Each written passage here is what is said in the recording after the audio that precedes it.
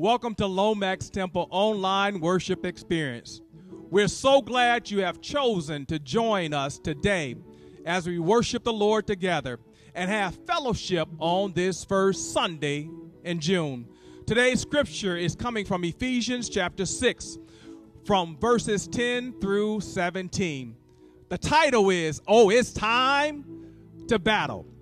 We now will have scripture reading from Sister Kim Curry Smith followed by a pre recorded selection from our Lomax Temple Choir. I'll be reading Ephesians chapter 6, verses 10 through 17 out of the NIV. I'm Sister Kim Curry Smith.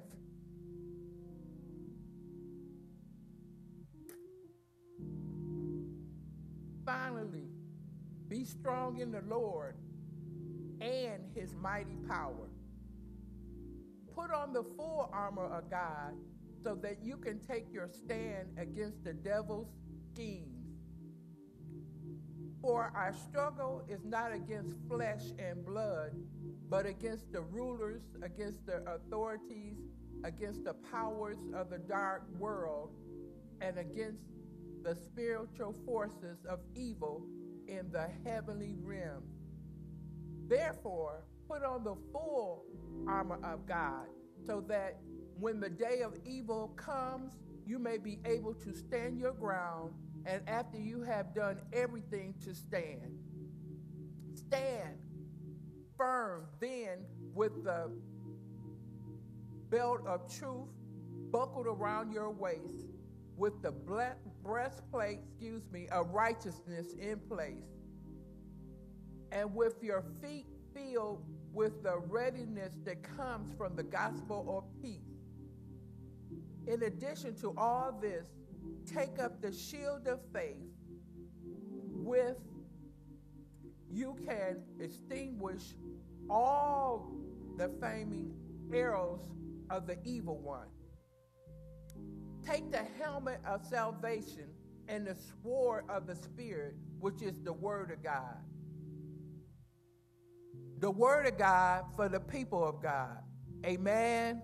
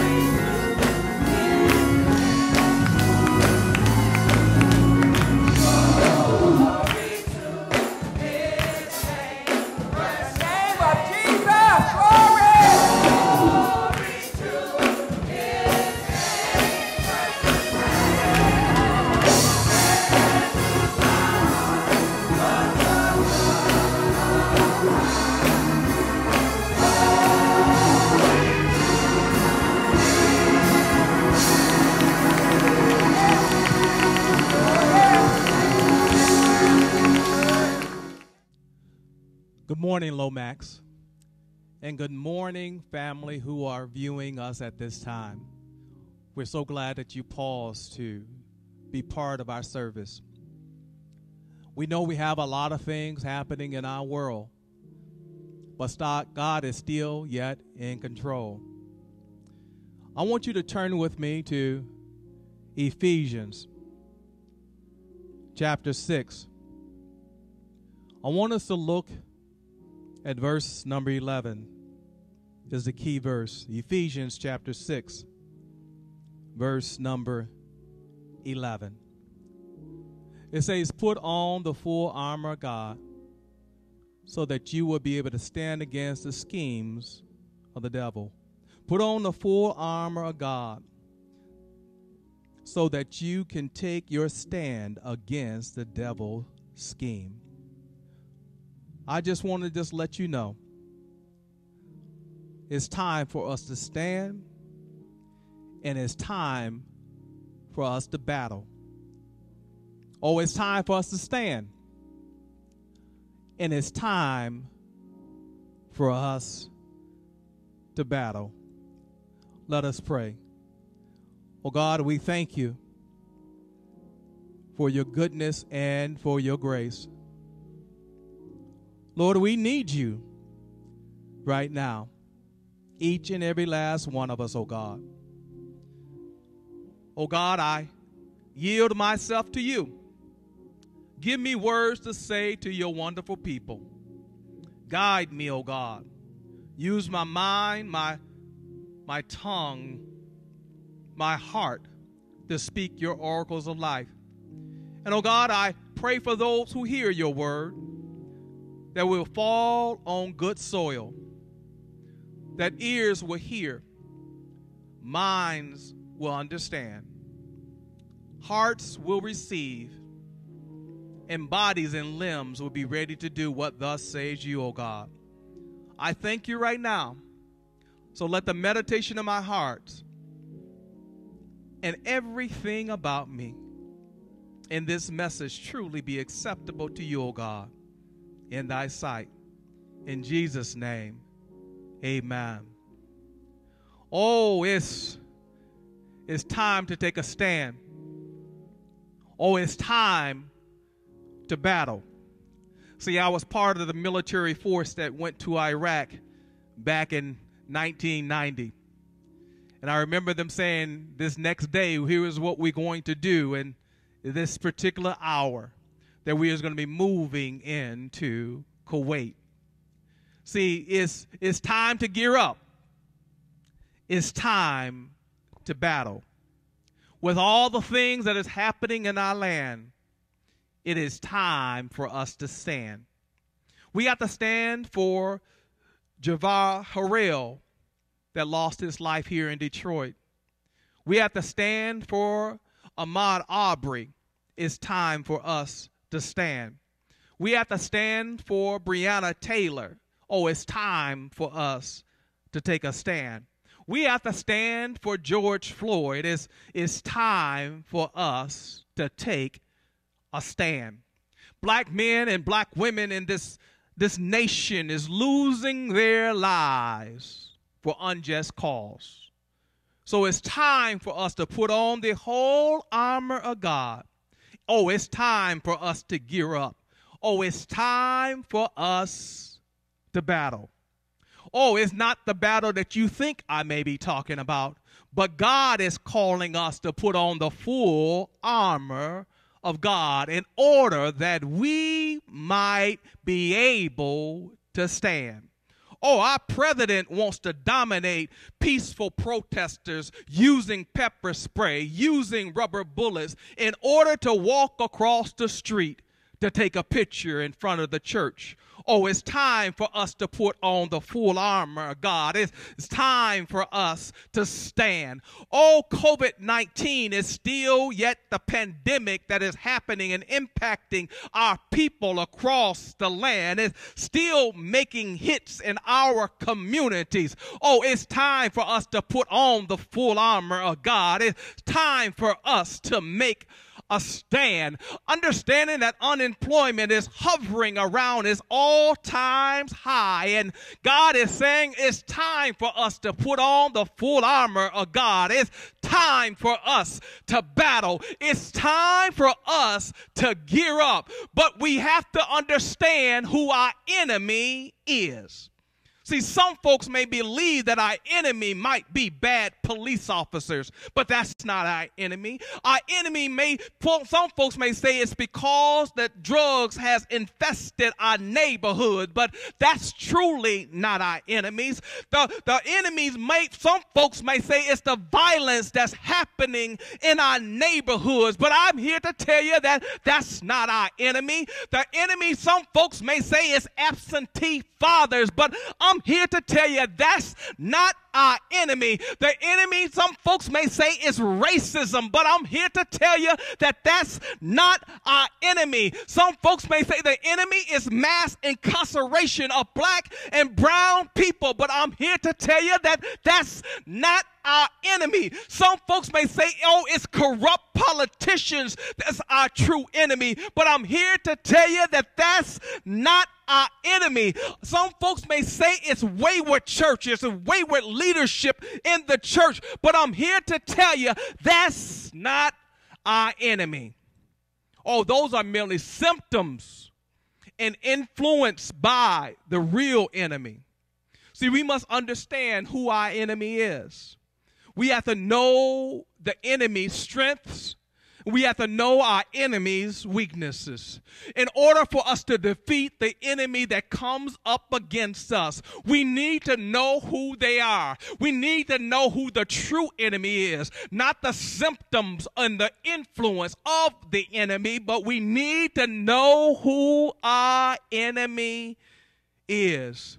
See, we want to be able to sidestep our enemy and hit him with the full strength in the midst of his weakness. Our enemy is not what people mention or not what I mentioned earlier, because those are only symptoms of the influence of the enemy. See, understanding, we got to know who our enemy is. And we got to be ready to go after the enemy that truly is our, our enemy.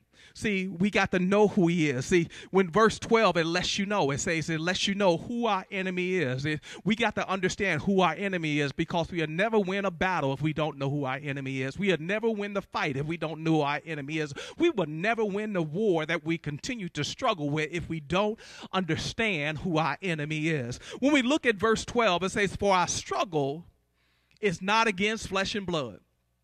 We have to understand it's not the people. It's not against flesh and blood. It's not against rulers. It's, it's against authorities. It's against the power of darkness of this world and against spiritual forces of evil in the heavenly realm. See, see, our enemy understand that he he comes to steal, kill, and destroy. In order for us to defeat our enemy, we must strategize and our enemy. We have to know what the strategy is as it relates to being able to defeat our enemy. I was watching the War Room this past weekend, and and, and, and one of the things that it says I, I love this this movie is and what sort of sticks out to me is when Miss Clara says this in the beginning of the movie. She says, Victories don't come by accident. See, we got to understand who our enemy is. We got to know who our enemy is in order for us to defeat our enemies because we won't be able to win by accidental win because they're out to, to steal, kill, and destroy. We need to know who our enemy is. His, his name is Lucifer. His, his name who is a fallen angel. Oh, he's called and described a few different ways. He's the father of lies. He's the evil one. He's the tempter. He's the thief. He's the adversary. He's the murderer. He, his mission is to only distract us and get us sidetracked on really what the enemy truly is trying to do. He's trying to discourage us in a way to make us to give up. He's trying to divide us and we see that in our nation as we're trying to come apart from one another. He's trying to deceive us. You have to understand he's always trying to deceive us. We got to know he's trying to cause doubt in our heart and he's trying to destroy us. Because we who need to know who God is and who we are in God. See, understanding we must understand this battlefield that we're about to get on, this battlefield that we're coming to. We have to understand that we have to go to the battlefield. We can't get around it. We must be willing to go to the battlefield. We can't run from the battlefield, but we must engage in the battlefield. But we just don't do that like any other folks. We can't be scared with because we know that God has not given us the spirit of fear, but He given us a power and of love and a sound mind. We got to understand that what God has given to us, so we can't be afraid to go to the battlefield. We got to know who our enemy is, and we got to be willing to go to the battlefield. God informs us that that we need to be strong and courageous like he did with Joshua back in the day because he's about to do some great things in our lives. But we have to be strong and courageous because we serve a God who will never leave nor shall he ever forsake us. But the thing about it is we got to be willing to go to the battlefield and knowing that we're going not in any kind of way, but we're going in a certain way that God has instructed us in order for us to go. He says, You got to put on the full armor of God that we may be able to stand against the schemes of this enemy. See, we got to, it's battle time, and we got to realize that it truly is battle time. God tells us that finally, be strong in the Lord. We got to be strong and courageous. We got to be strong in power. It says, Be strong in the Lord and in his mighty power. See, in verse 10, it tells us that when we are strong with the Lord, we can able to walk in his mighty power. Ain't that good news to know that we can walk in God's mighty power, that we are able to defeat the enemy that's trying to tear us apart, that we can go to the battlefield when we're truly equipping ourselves and what God is instructing us to do. In verse 11, he says, put on the full armor of God so that you may be able to stand against the devil's scheme. We got to realize on who we're battling. We're not just battling flesh and blood, but we're battling against this thing, this evil one, this one who's tempter, this one who's trying to destroy us. See, we got to be strong in the Lord. We got to hold on to his unchanging hand. We got to realize that there's nothing that is too hard for God? Nothing. Oh, I know what it looks like. I know what it seems like. I know when we see all the news, but we got to realize that there's still yet nothing too hard for God. When we look at this text, it informs us that the time, the battle is right now.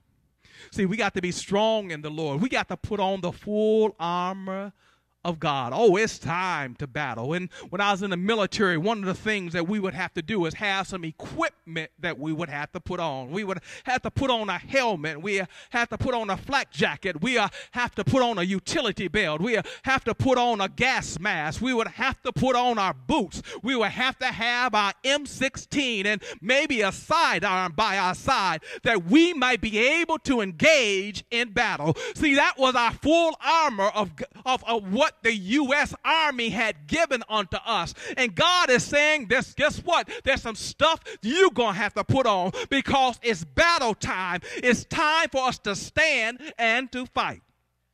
See, here's how we got to do it. We, like I was talking about earlier, what the military has us put on. God is saying, here's what I need you to do.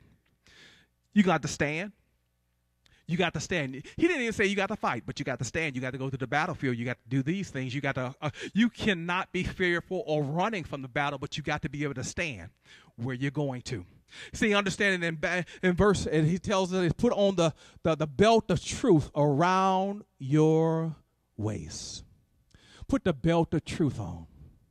See, this, this belt of truth is, is reminding us that we got to trust in God's word. We got to believe in God's promises, knowing that God's word is truly the lamp until our feet. We got to trust in God's word. We putting on the belt of truth around our waist. Oh, it's not going to get loose. It's not going to fall off. Nothing is going to keep me from knowing and holding on to the truth of God. We hold on to everything and believe everything that the word of God is saying into our lives. We won't get rattled by it, but we are hold on to God's word. We are having it wrapped around us and saying that this is the belt of truth and nothing will let make us let this truth go.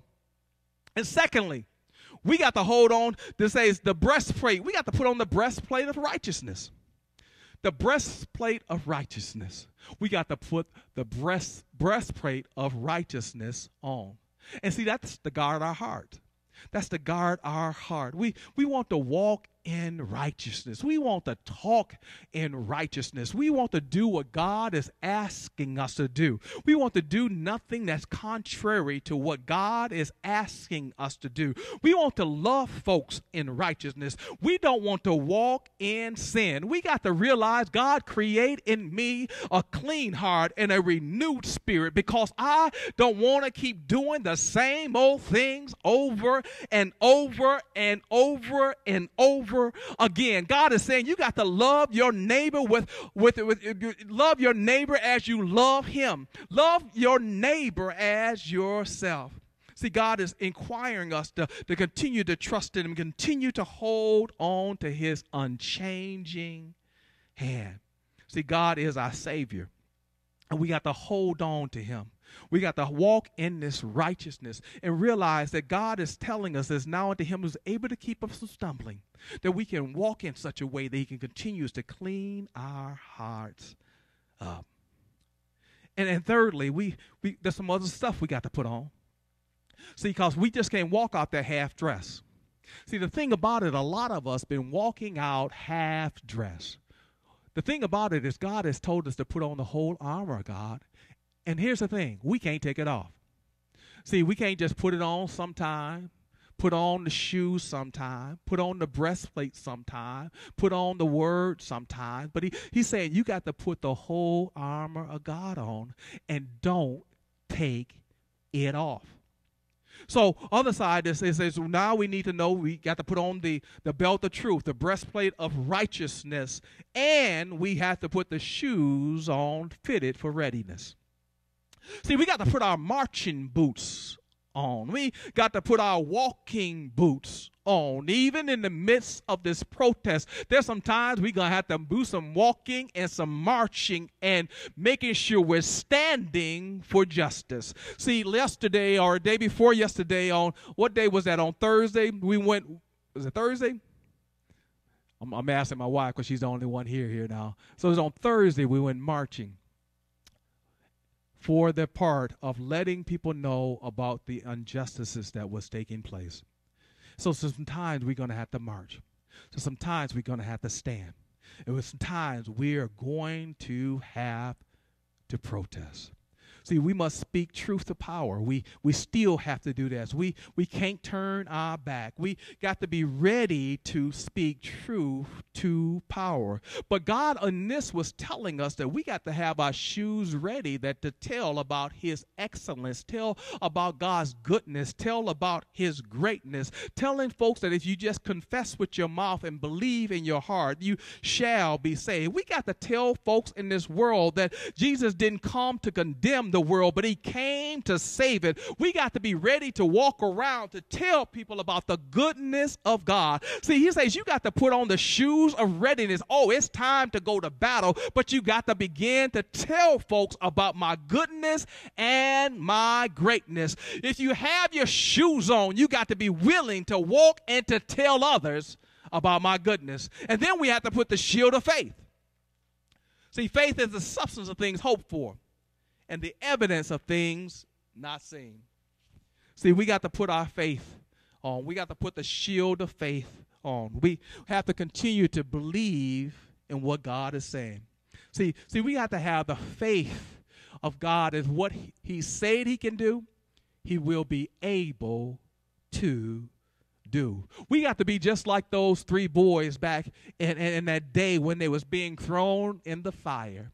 We have to realize and just say, guess what? I know my God can save me, and even if he don't, it's all right. We got to have the faith of saying, I don't care where you put me, even though it might be a little hot. It might seem like a fire, but I know my God can save me because I've seen him do it before over and over again. So my faith won't rattle. My faith won't change. I will still continue to trust in a God who's able to do wonderful and miraculous things. I got to be like the woman who said, if I can just touch the hem of his garment, I'm going to make my way because I have faith that I know who He is. I know what He's done. But if I could just make my way unto Him, I could just touch the hem of His garment and everything will be all right. I got to have faith that's mustard seed size type faith that I know that I can speak to a mountain. I can speak to my situation. I can speak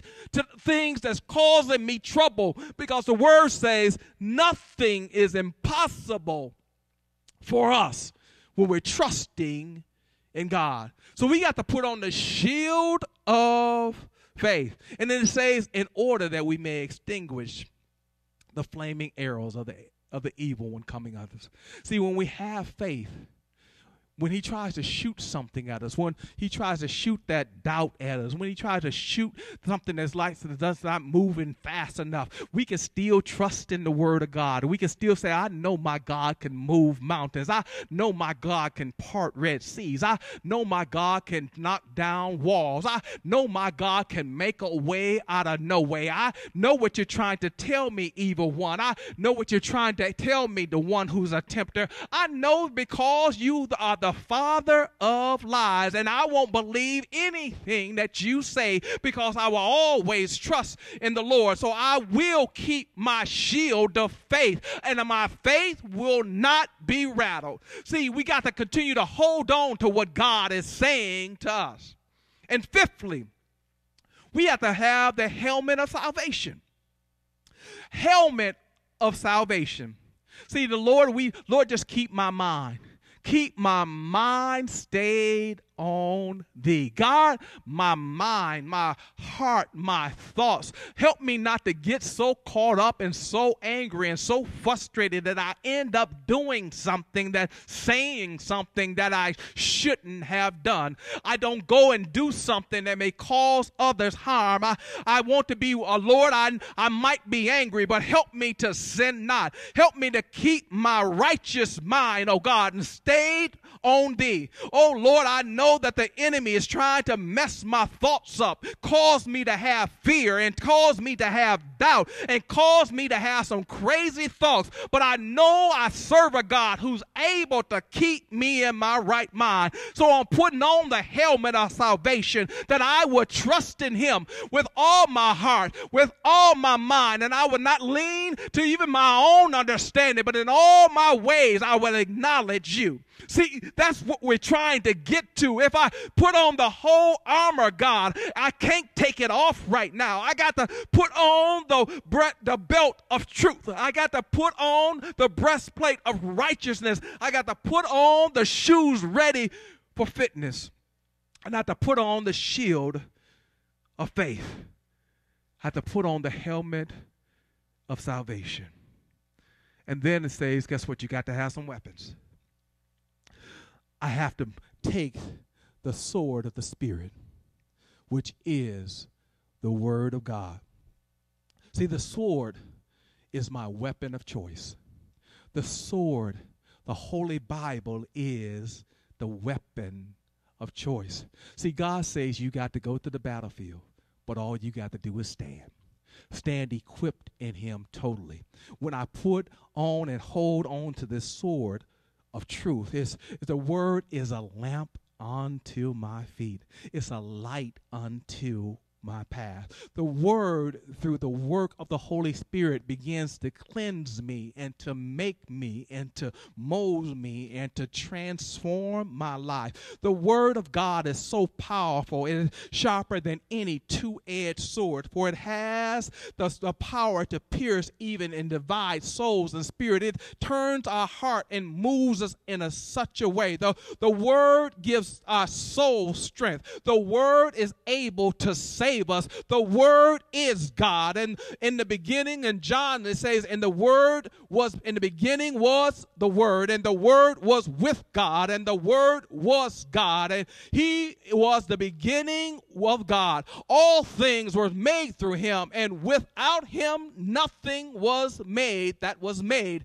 In Him was life, and life was the light of men. But it don't stop there. When you slide down to verse 14, it says, The word became flesh and made its dwelling among us. We have seen his glory and the glory of his one and only Son, who came from the Father, full of grace and truth. Oh, it's time for battle. It's time for us to put on the whole armor, God. Not just part of it, but the whole armor, God. You got to put on the belt of truth because you got to be holding on to what God is saying. Oh, you got to put on the breastplate of righteousness because you want to walk the way God has orchestrated your life. Yo, you got to put on the shoes fitted for readiness because I'm going to tell some folks about his goodness and his grace. Oh, I got to put on the shield of faith because nothing is going to rattle me. Nothing is going to distract me because I will continue to hold on to God's unchanging hand. Oh, I got to put on the helmet of salvation, understanding that I will hold on to my salvation. I won't let nobody take it. I do what God has called me to do. And then I will stand with a sword of the Spirit, which is the Word of God, not rattled, not nothing else, but I will hold on to your Word, your unchanging hand, understanding that God says to be alert just keep on praying. Keep seeking my face. Don't be fearful of anything. For God is making a way. Oh, it's time to battle. It's time to hold on to God's hand. Oh, it's time to speak truth to power. It's time to hold on to God. Don't get rattled now, but keep on moving forth. Keep on pressing your way, for God will make a way. Oh, it's battle time. Understanding all you got to do is just stand. Stand on His word. Stand in his word. Trust in Him. Hold on to His unchanging hand. For God is a God who loves you. He loves you so much that He sent His only begotten Son. Oh, you have had some battles in your life. And some battles that seem as though it's whooping you endless. But God is saying that allow Him to fight your battles, for He does fight battles for us but he does require that we stand. The word also tells us this no matter how broken we are, no matter how many things we felt like we've been defeated in, God is saying there's always victory in him. He says, if you come to me, if you confess with your mouth that everything you've done in the past, I'm sorry for against you, O oh God. If you confess with your mouth and believe in your heart that He died for your sins, and you want to give your life to Him, all you need to do is say, Lord, take my hand, take my heart, take my mind, and begin a new work in me. Turn my whole heart around. Oh God, I'm so tired of losing and everything that I'm doing.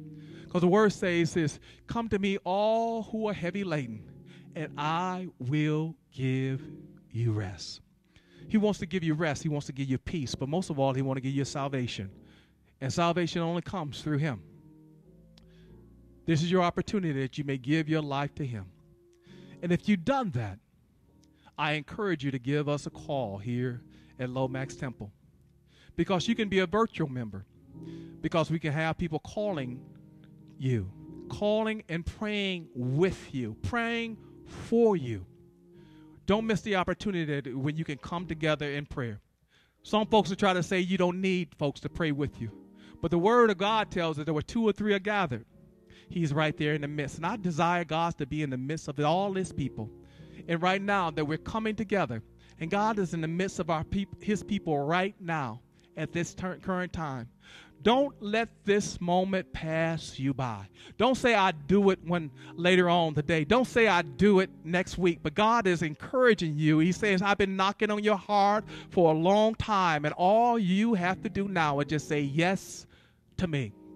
This is your opportunity to say yes to a God who's been looking for you, searching for you. But He wants your heart and your mind, and all you have to do is say yes at this current time. Confess with your mouth. I'm sorry. Lord, give I give you my heart to you now. And give us a call because we want to pray with you. The word of God for his people. Thanks be to God. Amen. God bless you. Amen.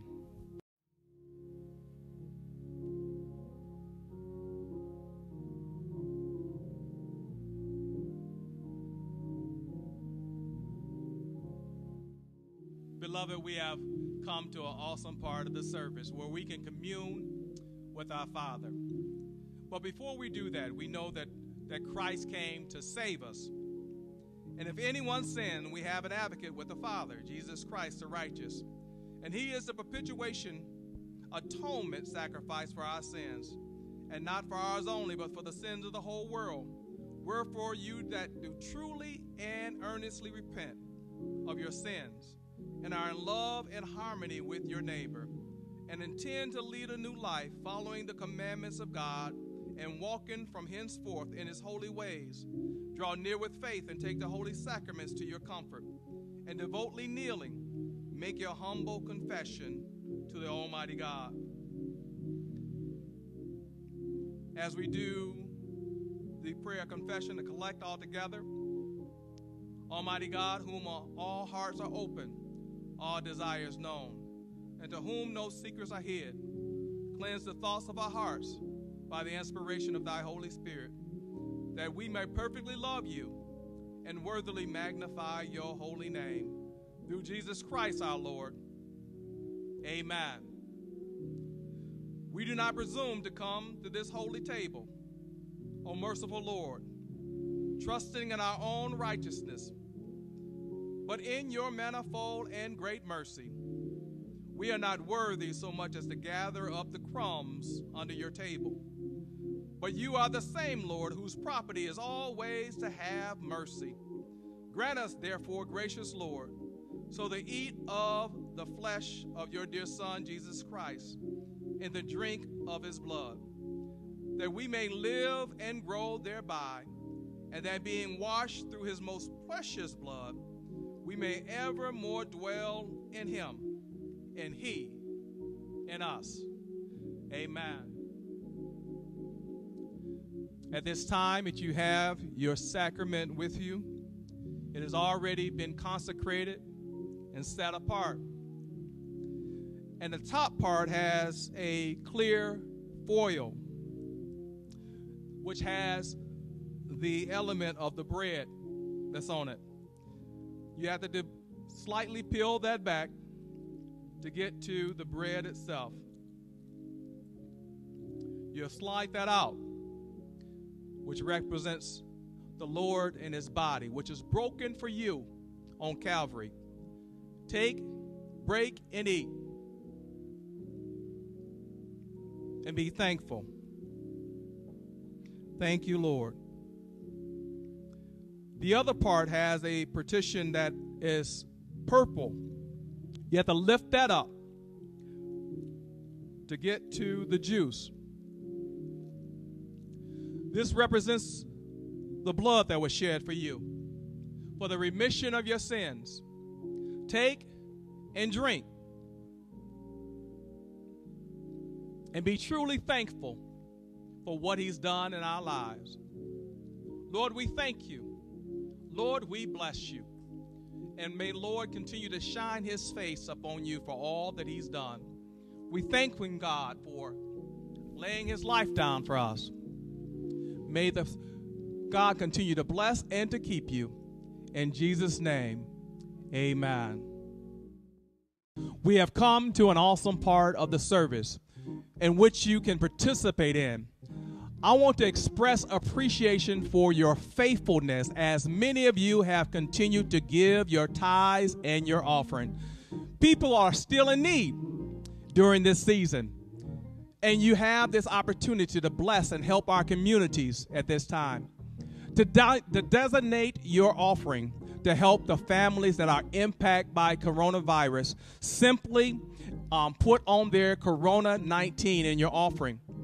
Again, we thank you for your continuous support, your prayers, and your financial provision as we continue to embark on the work of ministry. You can give through the following means Zelle, Givelify, PayPal's, or you can mail your checks right here to our office at 17441 Dequindre Street, Detroit, Michigan, 48212. And if you have questions, please give us a call at 313 893 1463. My prayer is that you continue to fight the good fight, trusting in the Lord. We thank you for joining us this week for our online worship service. We invite you to our other weekly online services. On Tuesday at 6:30, we have our virtual Zoom workout. And on Wednesday, we have intercessory prayer that begins at 6 a.m. Eastern Standard Time. And you can call that number 712 775 7300 with an access code of 392 357 pound. And Wednesday, we have Bible study at noon and 6 p.m. You can simply go to our website, which is lomaxtemple.org, and click on Bible study at the bottom of the page. And on Fridays, at 6 at 7:30 Eastern Standard Time, we have virtual hustle classes. And finally, we invite you to like our Facebook page and to subscribe to our YouTube channel. Thanks again for joining us for worship. And may the peace of God that passes all understanding keep your hearts and your minds centered in Christ Jesus now and forevermore. Amen. And God bless you.